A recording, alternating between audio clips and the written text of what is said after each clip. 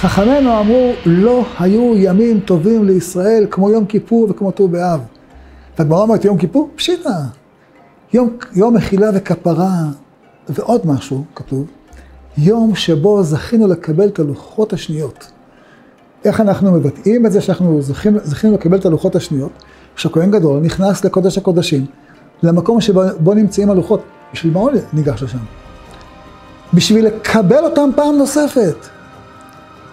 כן, הקדוש ברוך הוא מלמד כל הזמן תורה לעמו ישראל, וביום כיפור במיוחד.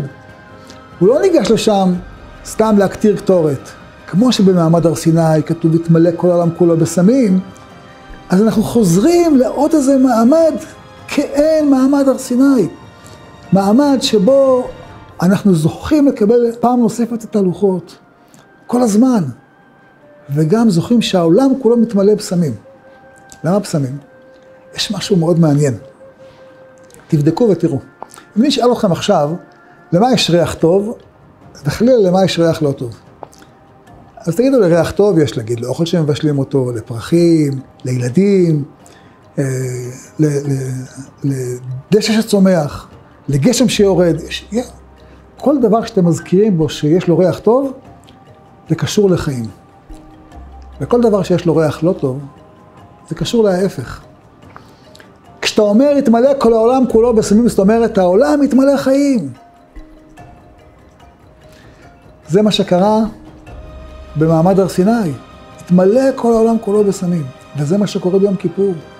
כשכהן גדול נכנס לקודש הקודשים, עומד שמה עם הקטורת, אז הקטורת אולי מספיק בשביל לתת ריח ל...